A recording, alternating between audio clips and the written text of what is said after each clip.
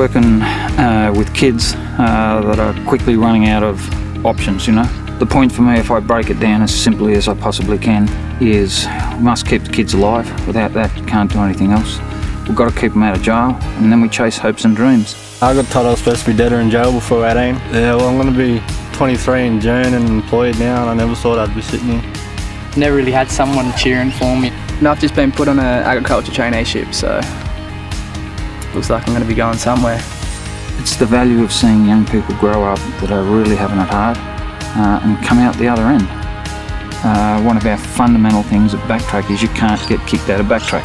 That's the first thing a kid hears when he comes through the door. Why? Because he's been kicked out of school, he's been kicked out of the shopping centre, he may have been kicked out of home, they're kicked out of everything. So we can't start there. Well, first I was just like on the drugs, that my head wasn't in the right space and that. And now I've just like put that in the past and I'm moving on and backtrack for the family. So my family that actually wants me around and that is helping me move along into my future. We're a difficult organisation to fit into government funding and it's because we tackle things in a holistic nature. If we were just getting our money from the education department, uh, but the kid doesn't have somewhere safe to sleep at night, don't worry about education, it makes no sense. You have to tackle what the issue is, you know.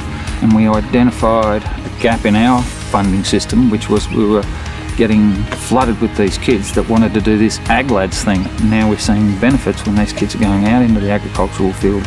We got 20 of them employed and it's directly because of that training and teaching them chainsaw certificates and hanging in and not kicking them out of the program. Uh, all those things combined uh, that are very difficult to write into a, a normal kind of a grant uh, is exactly where the, the greatest help us.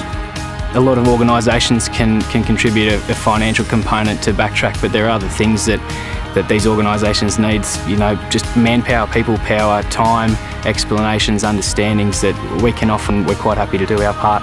Come in as a BT Works to help the boys in the program and a lot of them don't know what they're capable of until you give them the chance and once they've had that chance and have seen what it's about, they just excel. Every time I see a kid that's going somewhere that society had given up on and said, you know what, just don't worry, lock them up, throw away the keys.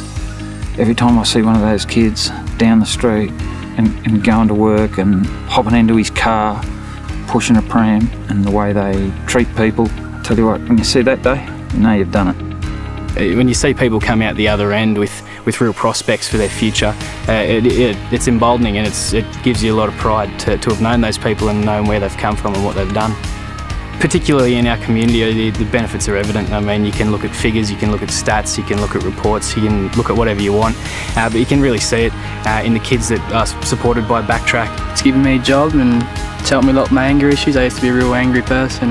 To the teacher just to like own your own actions and you know the consequences and stuff to come with it and that. Describe Backtrack in a word? Mm, it's really just family. One big family we are. I don't know how to say it, but like your heart like feels that it's loved, if you get what I mean. So you always have someone that you can always talk to. Of course, it makes me feel proud that they are like your kids. If you work with someone for six years and you walk through the toughest stuff in the world and you get them out the other side, sure, it makes you proud, but it's not enough. Uh, we're talking about almost a quarter of the kids in Australia. It's not good enough just to do it here in Armidale. The dream is to help as many kids having a hard time as we possibly can.